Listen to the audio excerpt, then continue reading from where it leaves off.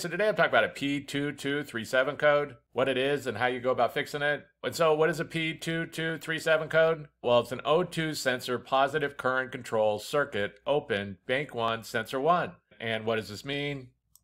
Well, basically, they're sensors and they're located on the exhaust, and they do two things. The first thing they do is they monitor the catalytic converter. And then the second thing they do is they monitor how much oxygen was burnt off during combustion. And they report this information back to the computer, which uses it to adjust the air fuel ratio mixture that's going into the cylinders. But when you get a P2237 code, the computer's seeing some kind of problem with this, mainly with the Bank 1 Sensor 1 O2 sensor. And so it's going to have to be troubleshooted. Know why? And when you have a V6 or V8 engine, you're going to have two banks. Bank one is always the side of the engine with the number one cylinder. So if you find the number one cylinder on your engine, that's going to be the side of the engine that's having the problem. And then the opposite of that is going to be bank two. If you have a four cylinder engine, it wouldn't matter. You'd only have one bank.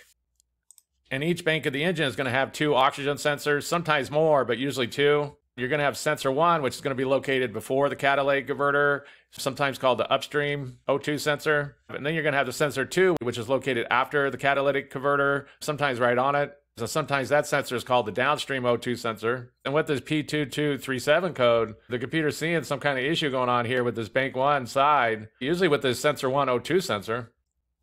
And so what would be some possible causes of P2237 code? Well, the first thing that could cause is that that O2 sensor's just failed, it's just gone bad and just needs to be replaced. You can test these sensors if you want to. There's some different ways to go about testing them. If you have a good OBD2 scan tool, you can use that. You can also test these with a multimeter. There can be different types of sensors, so you will need to look up what's going on with your particular vehicle to know for sure what's going on. But these four wire sensors are pretty common. And basically, what's going on with these is you're going to have four wires, the same two colored wires, like right here, those are going to be going to the heater element, which basically helps that sensor warm up quickly so it can go into what's called a closed loop.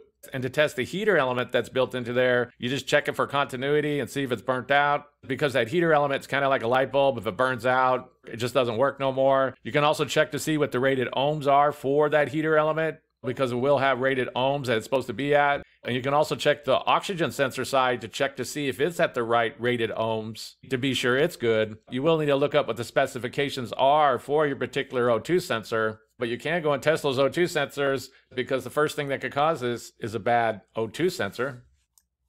The next thing that could cause this is the wiring going to the O2 sensor. Basically, if there's any kind of problem here, like an open, a short, there's like a bad connection or something like that, then that's going to cause issues.